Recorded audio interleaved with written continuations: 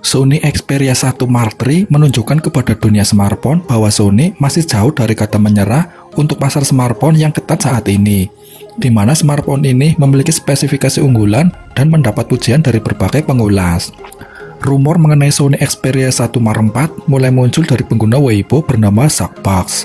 Dalam berita gadget terkini, di mana ia menyampaikan bahwa smartphone tersebut akan dirilis secara resmi pada bulan Mei 2022 pendahulunya memiliki rilis terhuyung-huyung yang dimulai pada bulan Juni di Cina dan berlangsung hingga Agustus di seluruh dunia. Dan proses serupa dapat terjadi dengan model tahun ini.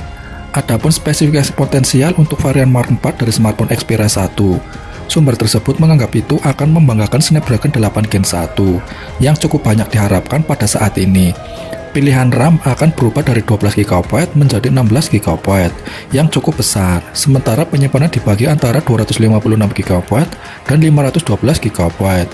Baterai juga ditingkatkan menjadi 5000 mAh. Sementara tampaknya Xperia 1 Mark IV akan mendukung pengisian daya 45 watt. Pengisian daya nirkabel akan disertakan dan mungkin ada perombakan desain untuk flagship Xperia 2022 peralatan kamera Xperia 1 Mark IV terdaftar sebagai sensor ultra lebar yang sama dengan Xperia 1 Mark III, yaitu 12 megapiksel Sony Exmor RS IMX 36312 sementara lensa utama dan kamera telefoto mendapatkan peningkatan.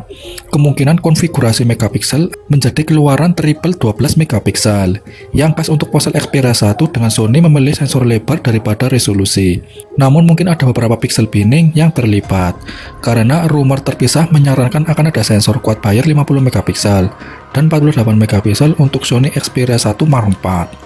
Rumor terakhir Sony Xperia 1 Mark IV yang tidak jelas, namun menarik adalah bahwa flagship 2022 akan menjadi hebat. Karena detail yang disebutkan tersebut, kamera, pengisian daya, dan lain-lain. Dan karena desain yang ditingkatkan. Ini adalah posting yang sangat ambigu dari informasi rahasia hit and miss. Tetapi mungkin sudah waktunya bagi Sony untuk meninjau kembali desain ikonik dari ponsel Xperia satunya dan memperkenalkan beberapa penyempurnaan lebih lanjut tanpa mengkhianati bentuk tinggi dan persik yang dapat dikenali. Kuat kamera pada sektor belakang dengan bekalan lensa ses optik pun semakin membuat perangkat ini berada di level tertinggi. Jadi tak heran bila harga Sony Xperia 1 Mark IV kemungkinan akan dipatok sangat mahal. Mengenai soal nominal harga Sony Xperia 1 Mark IV sendiri, sayangnya sementara ini masih belum diketahui secara pasti, karena belum ada konfirmasi resmi dari pihak Sony. Akan tetapi, berdasarkan beberapa sumber memprediksi bahwa harga Sony Xperia 1 Mark IV akan dibanderol kurang lebih 1199 US dollar atau setara dengan 17 juta rupiah. Tentu saja, mahalnya nominal harga Sony Xperia 1 Mark IV tersebut senada atau sebanding dengan spek maupun fitur yang disematkan pada ponsel ini. Terlepas dari soal harga, tampaknya saat ini juga masih belum ada kepastian kapan perangkat ini masuk ke Indonesia.